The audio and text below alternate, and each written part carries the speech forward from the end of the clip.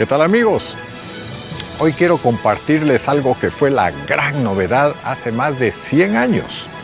El pasaje a Isinena, el primer centro comercial de la ciudad. Guatemala, capital iberoamericana de la cultura 2015. La Municipalidad de Guatemala y Canal 3 presentan Secretos de mi ciudad.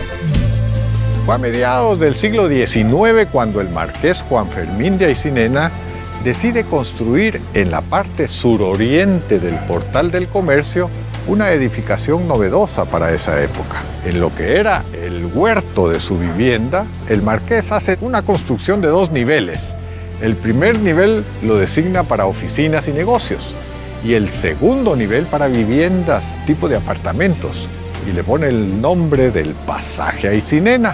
Surge así en 1892 un concepto urbanístico sumamente moderno que podemos considerar como el primer centro comercial de Guatemala y se le llamaba pasaje porque permitía el paso entre la calle de las Beatas y la plaza central.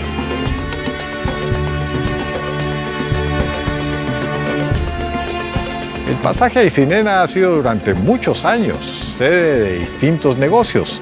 Aún en estos días podemos ver la sastrería Manolo, fundada en 1909 y que ha confeccionado para los guatemaltecos toda una serie de prendas de vestir.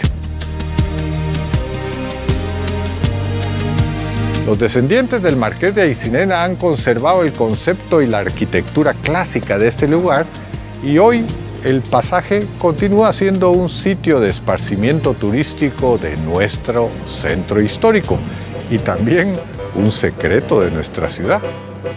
Los veo la próxima semana. Secretos de mi ciudad.